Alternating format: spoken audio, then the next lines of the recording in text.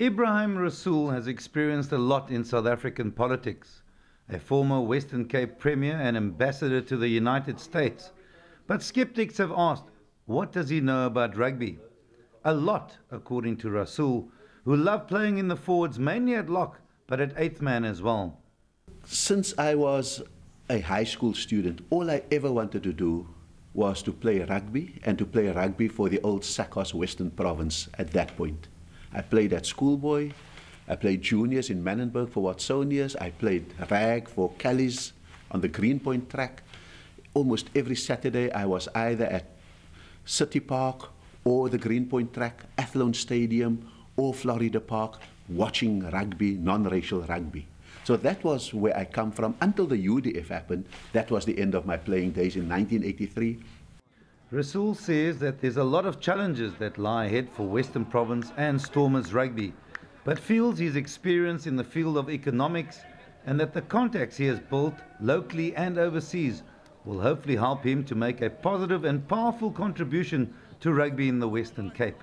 And so I take this as an honor because it remains that but it's also a challenge that I want to rise to, and maybe some of my international experience and management experience in the Western Cape could help me um, to reimagine rugby after COVID 19. The new chairman of Western Province Rugby said the 95 Rugby World Cup win was great for national unity, and so was the win in 2007. But the 2019 World Cup win was so important to break the myth that black players make rugby teams weaker. From one non-white in 95 to a team that was so transformed and even internally transformed between African and colored was an enormous moment in rugby terms, but an enormous destruction of a myth that the more representative your team is, the weaker it becomes. I think what Rassie had been able to do was to look at who are the players, not what color are the players.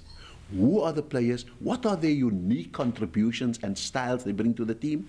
And then to not try to play New Zealand rugby or England rugby. Questions have also been asked about Rasool and his affiliation to the ANC and with the potential conflict of bringing politics into sport. Look, rugby has always been politicized. Um, that was from the time that Danie Craven tried to pick the All Black team without Maurice, from the time that Foster tried to pick the English cricket team without D'Oliveira, right to the time that Hassan Hawa very importantly said no normal sport in an abnormal society and laid down the principle for non-racialism, right to the time that the ANC invited rugby and said to them, we will let you play again in 92, right to the time that players today have a debate about taking the knee for Black Lives Matter. So you can't remove it. But that is politics with a big P. Politics with a small p, whether I belong to the ANC or not. I take with a pinch of salt the suggestions that I'm an ANC heavyweight when people have tolerated my predecessor, who's a DA heavyweight. He's on the maker of the city of Cape Town. So the fact of the matter is, don't raise questions now that you haven't had the guts to raise or the honesty to raise before. The former lock says he has been spending more time cultivating other skills like lecturing.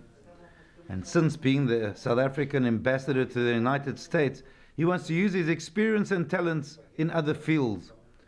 While many of the old guard, including certain segments of the media, might want Rasool to fail, Western Province and Stormers Rugby will be hoping that he will take them to new heights in a changing world after COVID 19.